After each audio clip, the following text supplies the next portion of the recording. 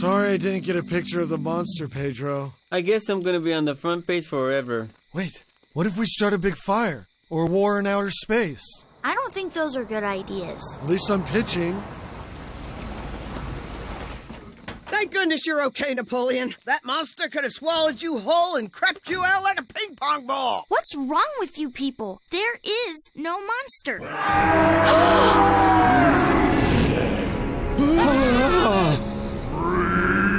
Rico! Dave!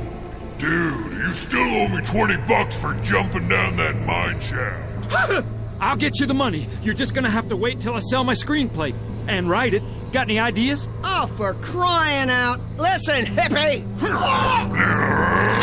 Put the grandma down. Hey, man, I don't want any trouble.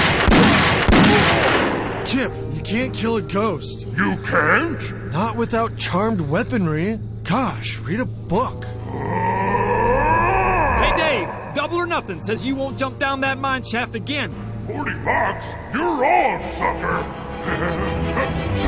Ah! Ow, my ghost back. Idiot. That. We're the original Ghostbusters. Deb, I thought that story was supposed to knock me off the front page. Well, at least you're below the fold. Yeah, took me 15 years to get there. Hey, you guys want to go to the Tots and Nugs and share your food with me?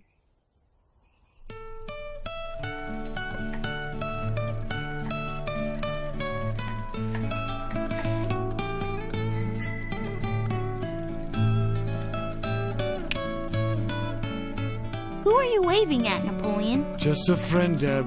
Just a friend.